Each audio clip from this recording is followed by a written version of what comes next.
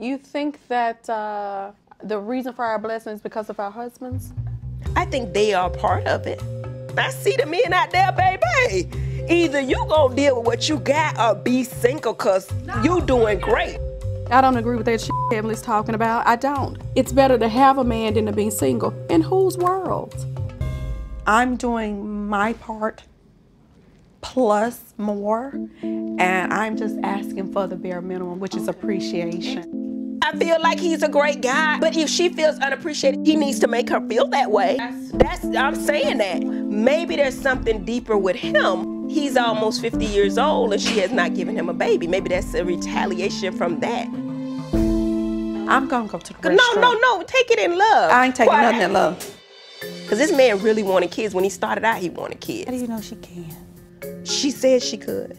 She said she had it checked out. As a woman, I just would never say that to a woman. Heavenly does not know the difference between saying something honest and saying something that's hurtful. I'm, I'm not saying she should or shouldn't. I think it's up to her. But I'm saying maybe that's the reason. Y'all still talk about that? I feel like your uterus is your Baby. business.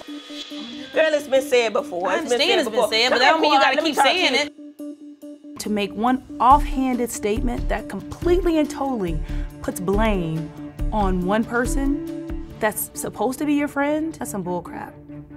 I mean, just because you say it once don't mean you Could need you to shut get, keep up? saying why. Could you shut you up? Shut, you shut up. That's the point. You shut that. up. No, it's- I'm it's talking about not- friend. This is not no, friend. no, You no, understand? no, no, Please no, shut no. up. Shut the up.